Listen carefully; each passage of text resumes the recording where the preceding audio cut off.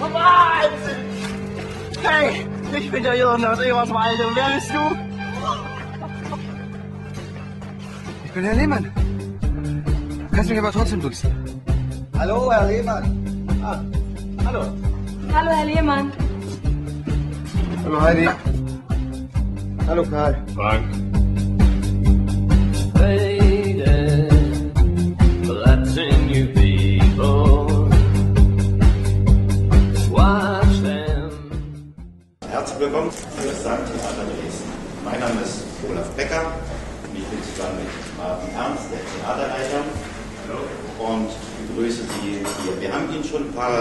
Sandkörner auf den Tisch gestellt, die wir mal unter Mikroskop betrachtet haben und die sehen ungefähr so aus. Wir haben sie dann mit Schokolade überzogen. Dafür ist dann Dimitri zuständig. Die Schokolade? Ja, genau. Ähm, der wird nachher auch noch ein paar Worte an Sie verlieren. Ich will Ihnen vielmehr von einer Reise erzählen, von meiner Reise hin zum Sandtheater Dresden. Die begann vor vielen, vielen, vielen Jahren. Ich war als Künstler am Admiralspalast, damals noch Metropoltheater, engagiert. Und ja, wie man das so macht, ein paar Jahre später bin ich dann nochmal dorthin und habe in Erinnerung geschwelgt und entdeckte ein Theater im Theater, im Admiralspalast, das Sandtheater Berlin. Ich war neugierig im Sandtheater, was soll das sein? Und entdeckte dahinter die Person, die dafür verantwortlich ist, den Theaterleiter. Und war sehr überrascht, dass es ein Freund ist, den ich auch schon viele Jahre kenne, Dimitri Sacharow. Ich freue mich auch, dass er heute hier ist. Er wird nachher auch noch ein paar Worte sagen. Ähm, ja, ich war neugierig. Und dann ergab es sich, dass ich für eine andere Veranstaltungsreihe eine Idee gesucht habe für eine Szene, wo ich die Gedanken, die Visionen, die Bilder aus dem Kopf einer der Protagonistinnen bildhaft machen wollte. Und ich erinnerte mich an Dimitri, ich erinnerte mich an das Sandtheater Berlin, an die Sandmalerei. Und wir entwickelten zusammen diese Szene. Und meine Neugierde wurde noch größer, denn das waren nur fünf Minuten, eine kleine Szene, es hat wunderbar funktioniert. Aber wie kann das Ganze abendfüllend funktionieren? Ein Sandtheater nicht als kleine Showeinlage, sondern als abendfüllende Sache. Wie Sie alle wissen, ähm, oder viele von Ihnen vielleicht wissen, laden wir unsere Zuschauer im Boulevardtheater gerne ein, mit uns auf eine Reise zu gehen, in andere Welten abzutauchen. Das wird manchmal sehr bunt, sehr unterhaltsam oder immer unterhaltsam, ähm, hoffe ich jedenfalls. Es wird ähm, lustig, es wird manchmal auch laut, bis hin zu bombastischen großen Bildern, die wir, die wir zeichnen. Wie passt da das Sandtheater rein? Und ähm, Dimitri und Natalia hat dann mit uns wir haben dann gemeinsam sinniert darüber, wie kann das zusammenpassen. Was mich eigentlich fasziniert an der Sandmalerei, am Sandtheater Dresden, man sieht meine Hand Ach, da sieht man die. Das ist ja irre. Ähm, ist die Einfachheit.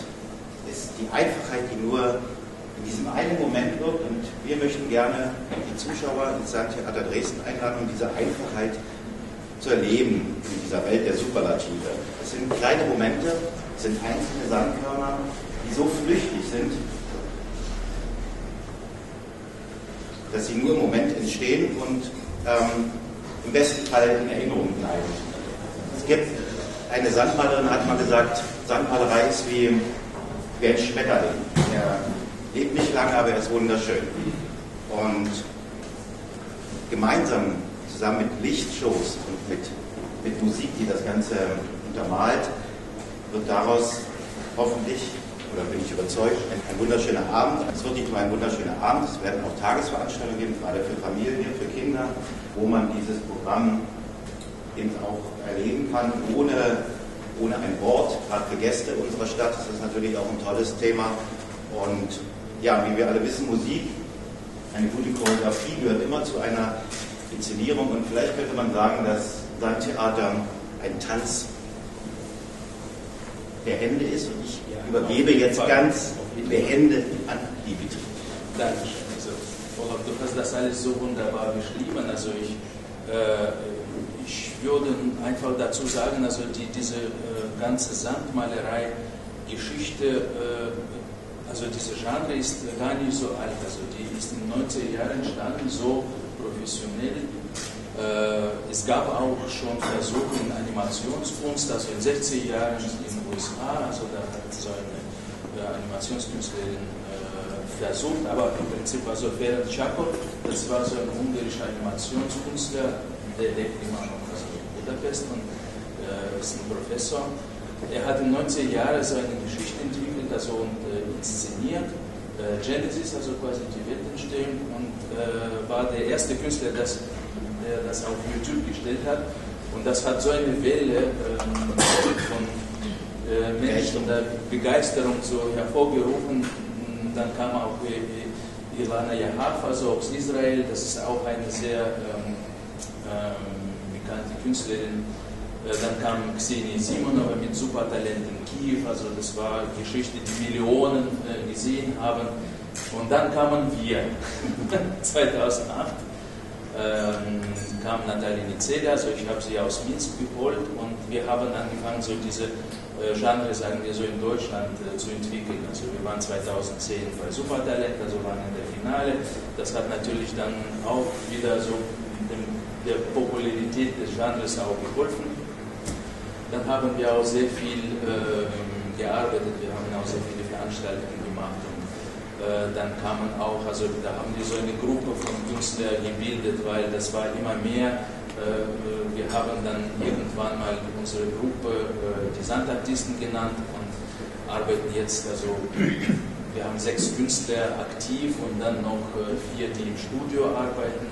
Wir haben auch großformatige Sachen, also in Hamburg, wir haben Hamburg äh, inszeniert, wir haben München inszeniert, im Prinzlegenden-Theater haben wir sechs Vorstellungen, äh, auch alles ausverkauft mit 900 Plätzen.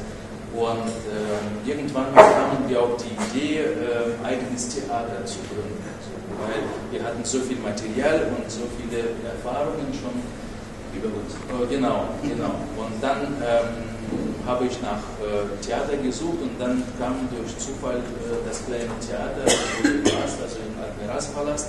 Und da arbeiten wir seit drei Jahren sehr erfolgreich und wir haben mittlerweile sechs Produktionen und wir bereiten jetzt noch zwei für Weihnachten äh, vor. Und ich kann nur sagen, also äh, ich nenne das alles äh, Sandtherapie, weil du hast auch sehr schön diese Emotionen beschrieben. Äh, die Leute kommen gestresst irgendwie rein ins Theater, setzen sich und ja, und 80 Minuten also mit der Pause dazwischen, 80 Minuten, die tauchen ein, also in diese ist wie meditieren. Und die kommen alle emotional positiv aufgebaut, glücklich und dann gehen sie glücklich nach Hause. Und ich glaube, das ist ähm, das, was, was Sandmalerei, also was Sandtheater ausmacht. Also diese, diese Symbiose zwischen äh, Handballett und äh, diesen ganzen Emotionen, also Geschichte, natürlich, das hat natürlich auch sehr, also spielt eine sehr große Rolle. Die Geschichte, was wir erzählen, also die Musik, also das macht auch äh, diese Faszination der Sandmalerei aus. Und ich habe mich auch sehr gefreut, wo Olaf äh, mich angerufen hat und sagt, okay, wie wir es dann, also mit Dresden, ist Dresden, das ist so fantastisch. Also Dresden hat so viel Geschichte und das kann man auch eigentlich, also kann man nicht in eine Show reinpacken, alles was Dresden bietet, historisch. Und, äh, aber wir versuchen das und da haben wir jetzt die Elbsand, die Sommershow entwickelt und das werden wir auch präsentieren. Und natürlich auch so Max und Moritz, das ist eine Kultgeschichte, auch so für alle. Und was auch sehr schön ist, also diese, diese Märchenstunde, also das äh, wird dann sozusagen also in Form von äh, Aschenputtel äh, dargeboten. Und ich freue mich einfach auf die schöne Zeit und äh, auf glückliche Zuschauer hier in Dresden. Wie groß ist die Leinwand oder dieser, dieser Bildschirm? Das Bühnenbild entwerfen wir gerade noch. Ähm, ein paar Tage haben wir ja noch Zeit. Das wird äh, schon bühnenfüllend sein. Das wird schon sehr groß sein. Dass gerade diese wunderbaren Details, was ja immer so fasziniert ist, wenn man da natürlich wirklich einen Abend Zeit hat, ähm, diese Bilder zu bauen, wenn sie flüchtig sind, die feinen Details, die man ähm, die Möglichkeit mit Sand zu machen, die werden dann natürlich groß dargestellt. Das heißt kein Bildschirm auf der großen Bühne, sondern eine große Leinwand mit einer großen Ganz Projektion. großes Kino. genau. Ja, das ist ja das eigentlich, also das ist ja auch die Faszination, dass es so zwei Fokusebenen gibt. Es gibt einmal diese, es ist ja auch schön zu beobachten, wie die Künstler, Künstlerinnen das machen selber. Das sind ja auch schöne Bilder, diese Konzentration und dann das Ergebnis. Ähm, und das wird aber vom Gewicht her natürlich, ist das der Fokus dem Moment. sagten gerade, es gibt drei Produktionen. Aschenputtel, Max und Moritz und Elbsand. Okay. Wie kann ich mir das als Zuschauer vorstellen? Was wird da gezeigt? Oder auf was kann sich der Zuschauer freuen? Von der Geschichte bis zum Ende? Oder wo? Also äh, Max und Moritz, das ist sozusagen die Geschichte Sinnes Streicher, also da, das illustrieren wir sozusagen alles, äh, machen die Figuren lebendig, ist auch mit äh, Sprech, also mit, mit Sprechen, also dass die Schauspieler sprechen äh, im- aus dem Off. Äh, bei Aschenputtel haben wir einen Schauspieler, der sozusagen die Geschichte erzählt. Und wir begleiten das, also wir zeichnen die ähm, Geschichte dann in Sand.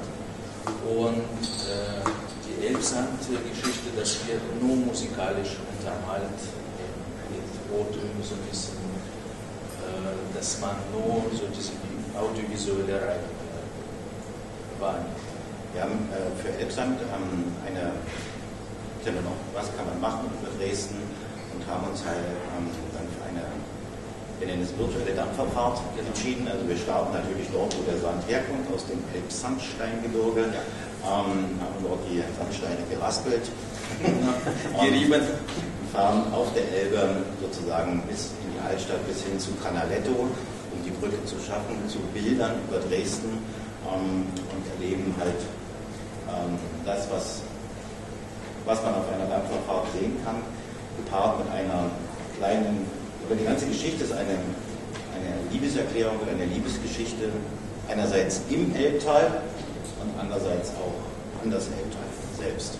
Und da werden natürlich so die, die Einblendungen in die geschichtliche Ereignisse, also lokal wichtige Ereignisse, die dann so mit diesen Objekten, also mit diesem Ort dann äh, verbunden sind. Also, dann so eingeblendet. was sowohl eben für Dresdner, das mal mit ganz anderen äh, Mitteln dargestellt zu bekommen, äh, sehr interessant ist, aber eben weil es eben nonverbal ist und rein über Bild und Musik funktioniert dramaturgisch, ähm, eben auch für internationale Besucher der Stadt sehr geeignet ist, weil man quasi keine Sprache verstehen muss. Ja.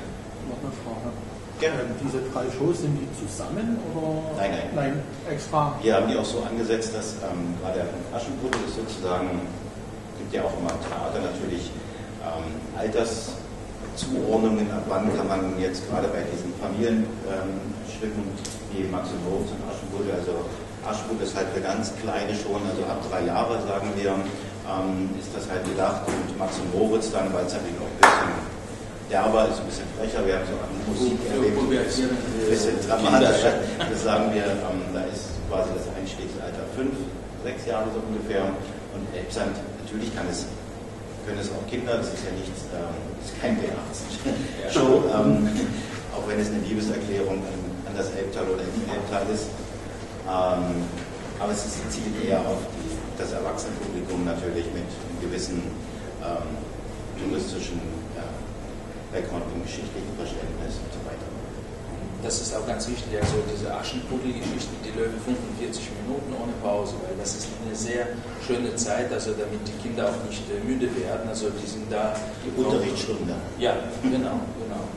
Das hat sich auch ganz gut bewährt, also so diese Zeit. Und natürlich die anderen Geschichten, die sind voll, ähm, also 80 Minuten, also 75, 80 Minuten, weil da ist natürlich auch viel zu erzählen. Also das, das ist auch, das ist nicht langweilig. Also das äh, denkt man, also wenn man sagt, oh 70 Minuten Sandmalerei Show, also, hm, also ich habe schon äh, Menschen erlebt, also bei uns, also die kamen raus und ja, also das war so kurz, äh, also gibt es da also, eine Familie war da, also wir haben gesagt, das ist jetzt zu Ende. Sie wollten dann an, an, an, an die Bar noch was trinken und dann weiterschauen. Man sagt, nee, nee, das ist, oh, schade, schade.